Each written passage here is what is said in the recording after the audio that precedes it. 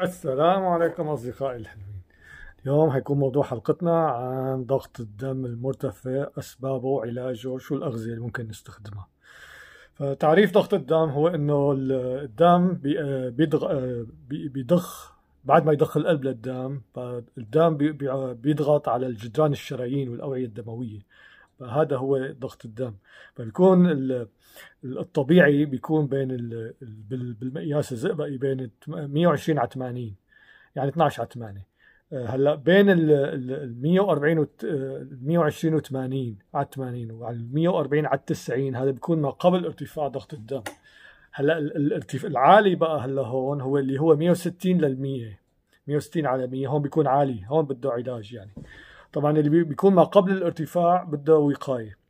هلأ في شيء اسمه ضغط الدم الخبيث. هذا ضغط الدم الخبيث بيصير وقت مثلا مثل تسمم الحمل بيرتفع الضغط الواطي يعني الرقم الواطي بيرتفع بسرعة قوية كثير سريعة. بصير 130 هذا ممكن يسبب أحيانا الموت أو أي سكتة دماغية أو أي شيء. هلأ في نوعين للضغط. هو الضغط الأولي والضغط الثانوي.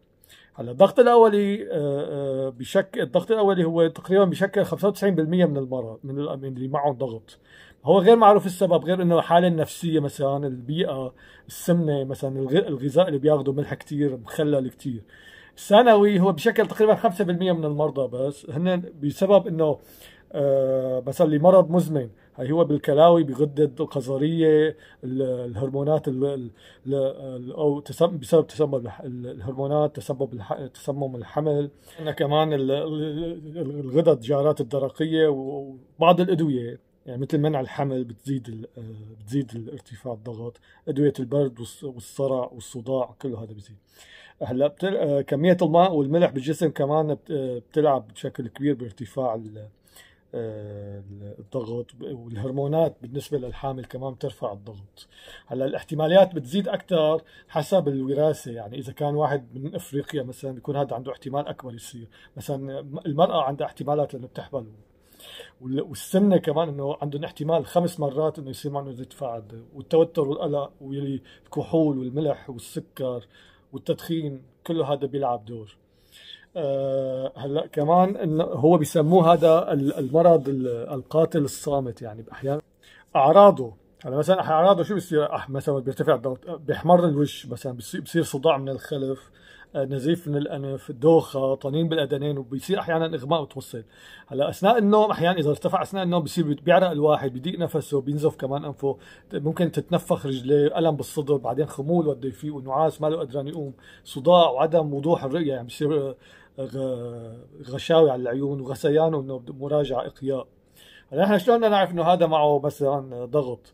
بسوي له اختبار بالبول مثلا اختبار الدم من من, من تخطيط القلب مثلا نشوف الكوليسترول. هلا معالجاته علاجه هو بس من من بنشوف شو مسببات المرض. مثلا تقريبا بنقلل الوزن نخفف السمنة بنقلل الملح بنزيد التمارين آه ننصحه عدم التدخين ايقاف موانع الحمل. لأنه في حال ما ما تعالج ممكن يسبب إنه يصير يعني يسبب إنه يصير مثلا جلطة دماغية سكتة قلبية آه، ممكن يساوي مثلا آه، فشل كلوي آه، فقدان البصر العمى ممكن يساوي ممكن يساوي مشاكل بالذاكرة والتركيز كمان. يعني هذا كمان ممكن ومثل ما انه فشل بالقلب يعني ممكن هذا اذا إذا ما تعالج. فلا بد من علاجه وزياره الطبيب وأخذ أدوية الضغط اذا إذا لزم الأمور. شو الأغذية اللي ممكن تساعدنا؟ مثلا تخفف إنه تخلي البوتاسيوم مستوياته منيحه المغنيسيوم لأن البوتا بيرتفع الضغط بيستعملوا المغنيسيوم ولازم يكون البوتاسيوم كمان. مشان يطرح الجسم لأنه بصير ادرار ليساوي ادرار بالبول حتى يطلع المي السائل الزايد بخف الضغط. فعندك مثل الكاكاو التوم كل شيء غني بالاوميجا 3 الكالسيوم الجزر الشوكولاتة الغامقة مثلا الموز الفاصوليا السبانخ والعصير ممكن المي هو أحسن واحد أحسن علاج هو المي. عصير التوت عصير الكركديه كله هذا بيفيد يعني بخفض التوم. وبرجع بقول يعني أهم شيء إنه تخفيف الوزن رقم واحد.